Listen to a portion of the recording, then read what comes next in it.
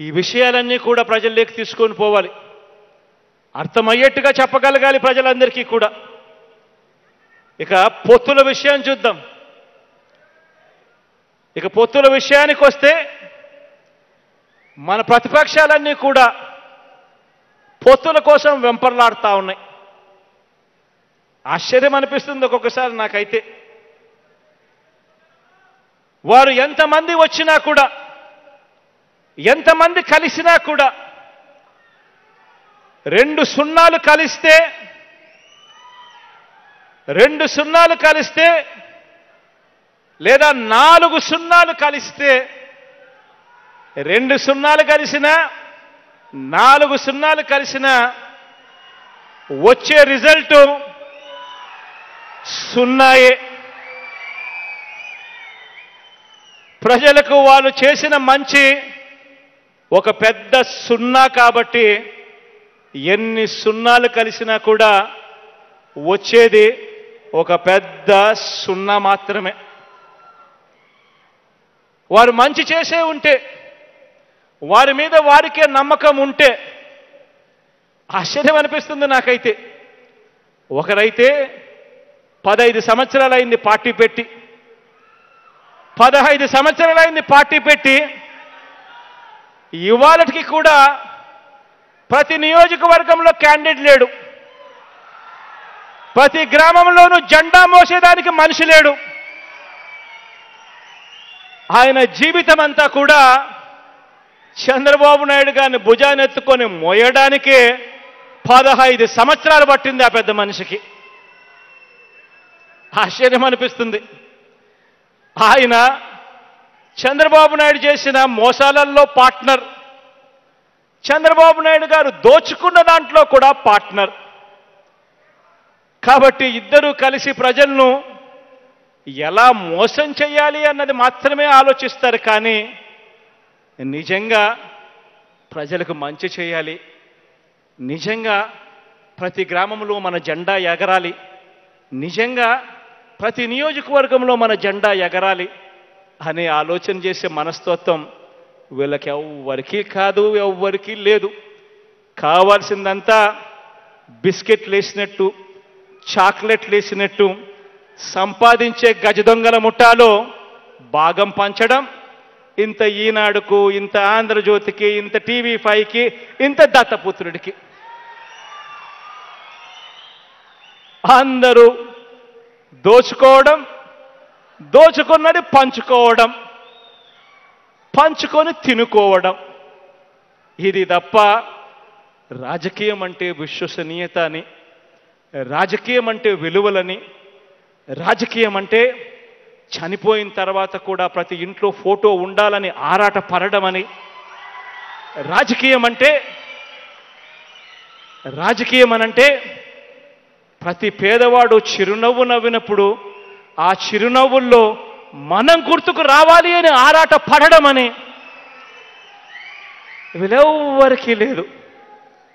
వీళ్ళకి తెలిసిన రాజకీయం వల్ల సీట్లేకి రావడం అంటే దాని అర్థం దోచుకోవడం దోచుకునింది పంచుకోవడం పంచుకునింది తినుకోవడం. ఇవి కాదు రాజకీయాలు. రాజకీయాలంటే మనిషి చనిపోయిన తర్వాత కూడా ప్రతి మనిషి గుండెల్లో బ్రతికి ఉండడం. రాజకీయం అంటే ప్రతి ఇంట్లో కూడా ప్రతి ఇంట్లో కూడా ఫోటో ఉండడం రాజకీయం అన్నది మనకు తెలిసిన రాజకీయం. ఈరోజు అందుకే మీ బిడ్డ ఎవరితోనూ పొత్తు పెట్టుకోడు. అందుకే మీ బిడ్డ నమ్ముకున్నది దేవుడిని మంచి చేసిన ప్రజల్ని. అందుకే బహుశా రాజకీయ చరిత్రలో దేశ చరిత్రలో కానీ రాష్ట్ర చరిత్రలో కానీ ఏ ఒక్క రాజకీయ నాయకుడు ఎవ్వరూ కూడా అనని మాటలు మీ బిడ్డ అనగలుగుతా ఉన్నాడు.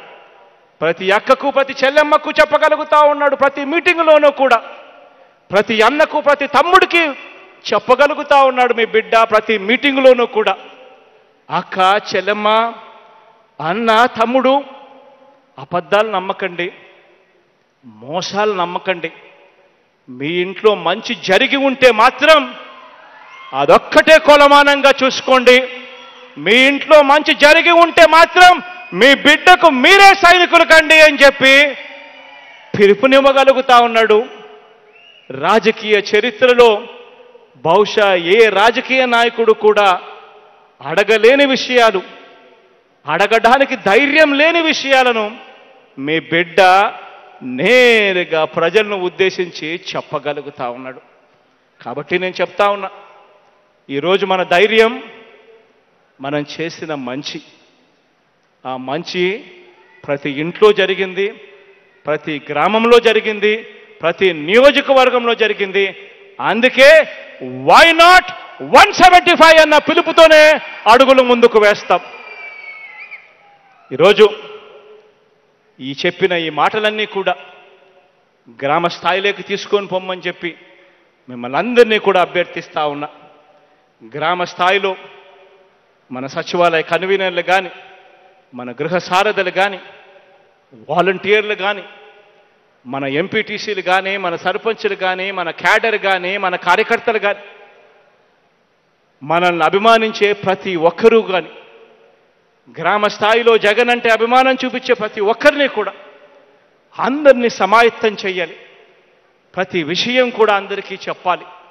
చెప్పి ప్రతి గ్రామంలోనూ మన జెండా రెపరెపలాడేట్టుగా చేస్తూ ప్రతి ఇంటిని సందర్శిస్తూ ప్రతి ఇంట్లో ఉన్న ప్రతి ఎక్క చెల్లెమ్మ ఆశీస్సులు తీసుకుంటూ అడుగులు ముందుకు వేయించాల్సిన బాధ్యత మీ భుజస్కంధాల మీద ఉంది అని చెప్పి మరొక్కసారి తెలియజేస్తూ ఈ కార్యక్రమానికి ఇక్కడికి వచ్చిన మీ అందరికీ కూడా మనస్ఫూర్తిగా రెండు చేతులు జేడించి పేరు పేరు నా హృదయపూర్వకంగా కృతజ్ఞత తెలుపుకుంటూ సెలవు తీసుకుంటా ఉన్నాను.